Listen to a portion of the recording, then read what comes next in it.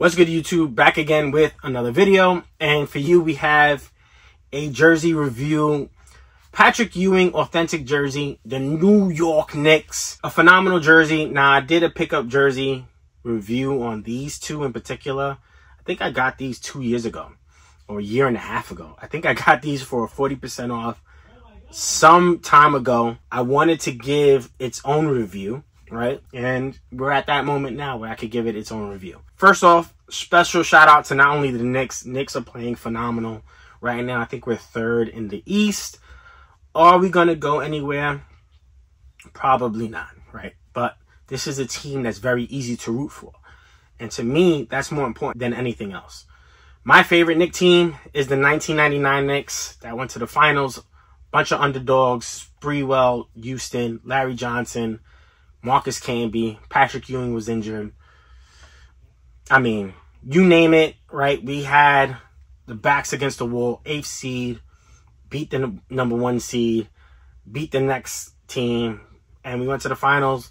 And of course, you ran into the juggernaut of at the time Tim Duncan and David Robinson. That's my favorite team. The 94 team was really good. The 92 team that gave Mike and the Bulls a run for its money brought them to a game seven which was incredible.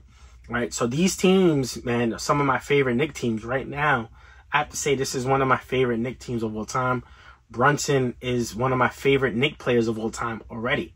He's just that special to me. He's by far exceeded any expectations that I had of him personally.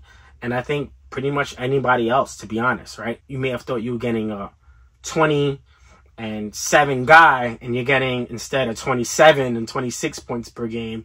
Super big in the playoffs. He's played big moments. He's made big shots. He's a great game manager.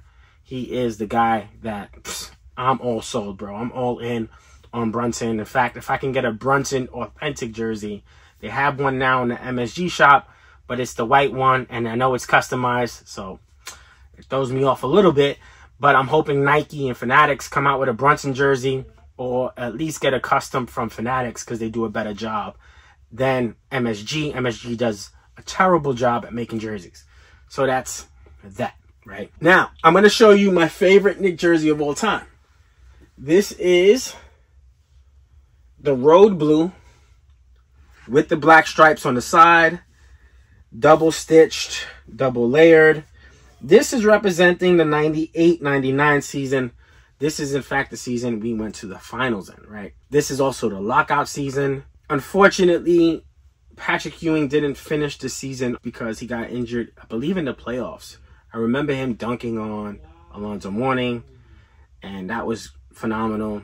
And of course, we beat the first seed Miami with the Allan Houston shot. Again, phenomenal. But I believe he got injured sometime during the playoffs. And then at that point, it was what it was. Um, but this is my favorite Knick jersey of all time.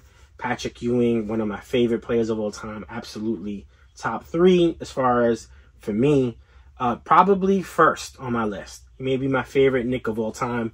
I don't think he gets enough credit. And the reason why I say that, the best player he ever played with in his prime is who? You tell me, right? You want to say Allan Houston? He started playing with Allan Houston at I think the later end of his prime. You want to say his actual prime, his best player he played with, Charles Oakley, John Starks, great players in their own right, but they were never superstars. They were never stars or a person or a player that can really change the game on its own. So to me, he never played with the super duper star. He had great coaching. They had great team energy, but he never played with somebody as good as him. So with that being said, this to me is one of the greatest jerseys ever in Knick history. Now we do have the black and orange. Now you're seeing the Knicks in a lot of black and orange jerseys. And I think a lot of the influence is because of this jersey because we get the black striping on the side, the black trim. So kind of cool to see they go back in history a little bit. And then you had this New York, this iconic New York double stitched, right? Very well done. That white and orange stitching. 33 double stitched as well. 1998-99 Patrick Ewing, authentic, very clean. Ewing on the back.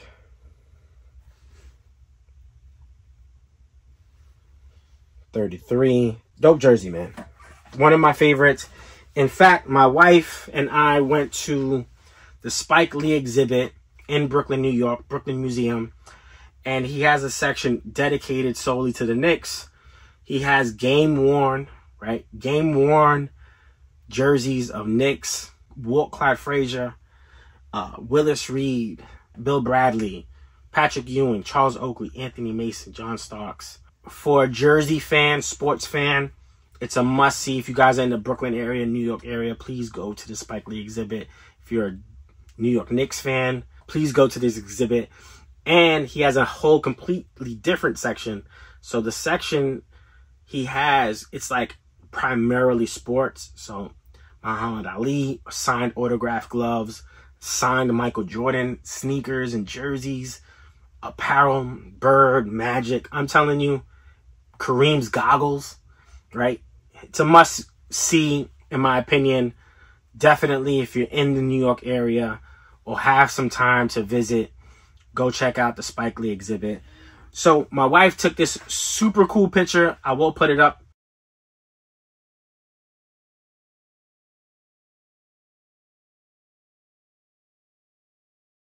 for you guys, but it's me in this Ewing jersey, and you see all the Knicks jerseys in this section that Spike had.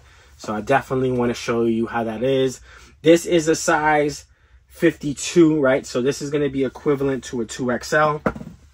I will put it on for you guys so you guys can see really quickly how it looks. So this is the jersey. Looks phenomenal. Uh, matches the hat pretty good, actually, too. Right, so just, you know, dope jersey, man. Ewing, one of the greatest of all time. One of the greatest senses ever. Definitely one of the greatest Knicks of all time. And on that note, I hope you guys enjoyed this video. I will be doing a review on this one. And then I'm going to start digging into the crates a little bit more. I told you I was going to be doing a lot more videos. So I will be doing a lot more jersey stuff, a lot more sneaker stuff. You may see some random just on feet stuff. There's a lot of people interested in on feet sneaker reviews. So, for example, right, you're not gonna get a on feet of these,